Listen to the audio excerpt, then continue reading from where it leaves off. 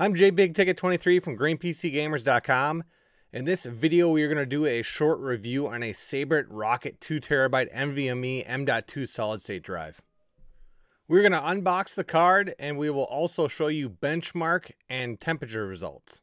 We chose to review this card because it's significantly cheaper than comparable NVMe M.2 solid state drives on the market like Intel or Samsung. If you'd like more information about the specific card that we are testing in this video, we have posted a link in the description and we have also posted a link to where you can purchase the card on Amazon.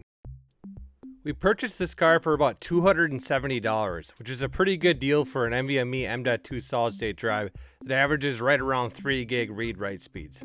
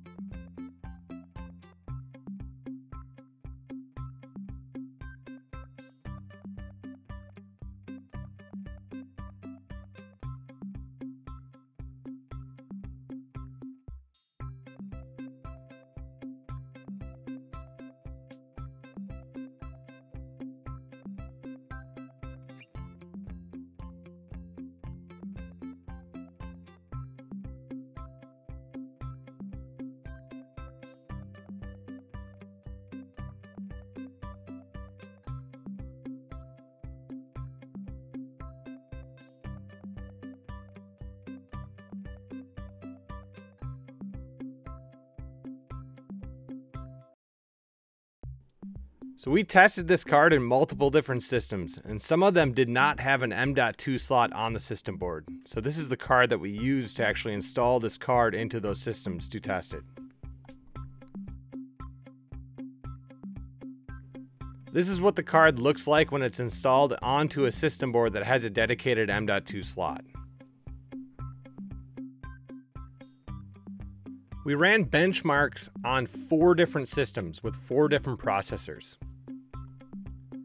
As you can see, the benchmark results were fairly consistent, right around 3 gig read write speeds.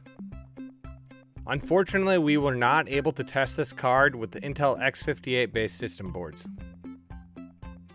We also monitored temperatures on the card based off different environments. Let us know what temperatures you receive if you purchase this card. To recap, this card had good packaging, good speeds, good temperatures even without a heatsink, and a good price compared to similar cards.